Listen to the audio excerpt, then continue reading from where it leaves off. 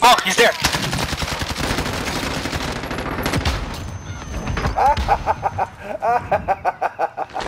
I finished him off with a good direct impact from a grenade.